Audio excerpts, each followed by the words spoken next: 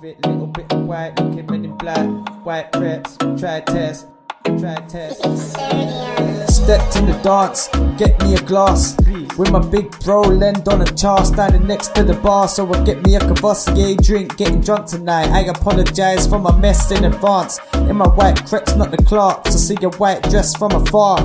So I pre it proper now, yeah, she's clocking me. Little did she know that I'm someone else's property. Every time I look up and she gets a little closer. Now I'm in a little bit of a predicament, like a weapon in the holster, and the fence come and approach her.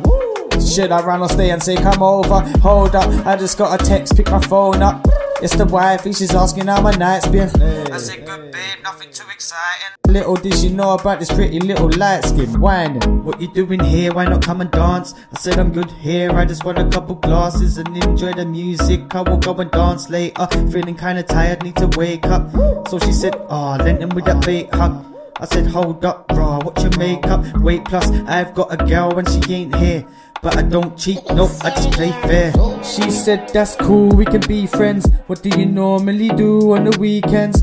I said, not a lot, if I'm being honest. She could tell from my vibe, I'm not really on it. She said, that's nice, I've just finished college. That's when I choked on my drink and I nearly vomit. I said, I'm 28, I like my girls more mature. So I really, really don't feel like you should call me or text me. I don't wanna know, but I've gotta go. I said later, grab my phone, hollered bro. He laughed, said let's go to a next bar. Then I was off like I picked up a red card. Got to the next bar, was chilling at the table. Laughing and joking, I said I wanna play pool. Girls whistling, I said I'm sorry but I'm faithful. Maybe it's because she clocked designer labels. Or maybe because I'm looking like a wave pool. But I've got a wifey at home and I stay grateful. Angel, messing around, it could be fatal. It ain't cool. Then I saw her head in the crowd, it was disgraceful. Guess who? The college girl from the other bar. The one that asked me if I could come and dance. Immature one, she was trying to make me jealous. Giving me the eye while she's whining on some fellas.